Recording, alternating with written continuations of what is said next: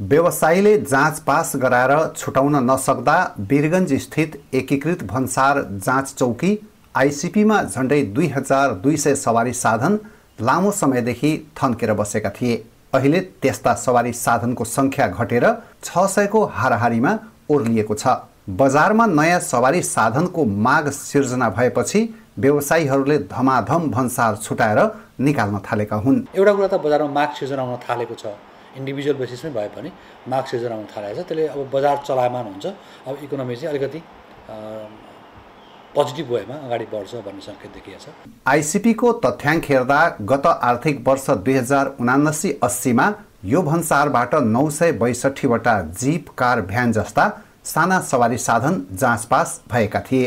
चालु आर्थिक वर्षको वैशाख महिनासम्म मात्रै एक हजार तिन सय चारवटा साना सवारी साधन जाँच पास भइसकेका छन्।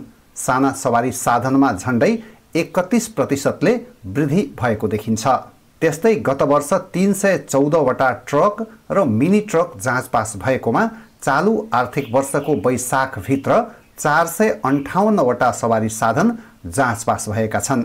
चालु आर्थिक वर्षमा सबभन्दा बढी जाँच पास भएका सवारी साधनमा बस र ट्रकका चेसिस छन्।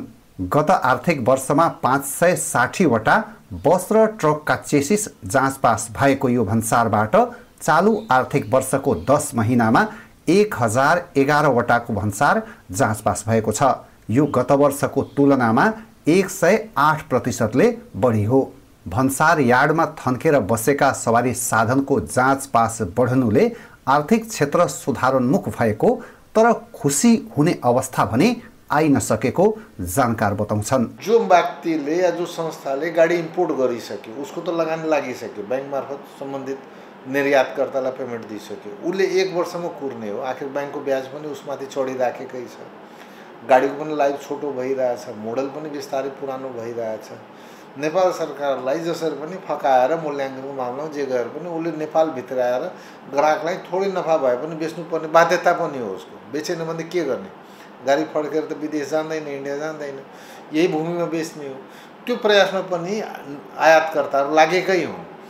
तिनीहरू झिकाएर बिरगञ्ज बजारमा काठमाडौँ बजारमा ठाउँ ठाउँमा सोरुममा गाडी ठेलेकै हुन्। तीमध्ये दसवटा मध्ये पाँचवटा बिक्या होला पाँचवटा अहिले पनि गोदाममा होला।